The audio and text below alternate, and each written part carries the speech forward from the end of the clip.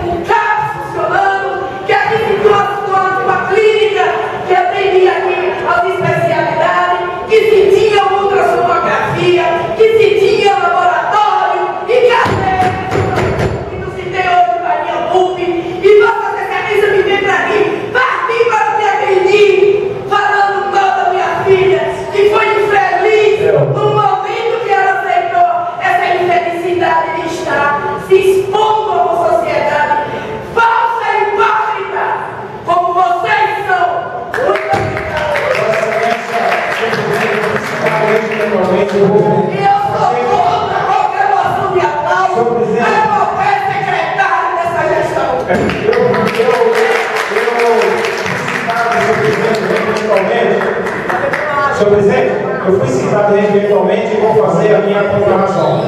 Eu não citei aqui com relação a ninguém que estava aqui fazendo dobro do dinheiro público. O que eu falei foi da economia que foi feita na questão do, da alimentação e na questão do combustível. A secretária, nós convocamos a secretária para uma reunião e ela nos apresentou os pontos dela.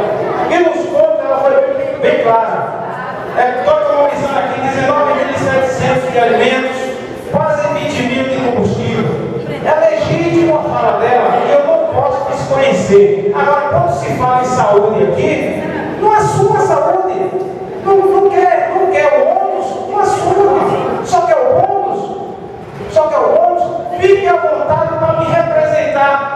oficialmente eu estou preparado para me defender. Eu estou aqui há quatro anos, todos os dias, sendo ameaçado por essa casa que vai me, me, me representar judicialmente. Eu estou à vontade para me defender, porque quando eu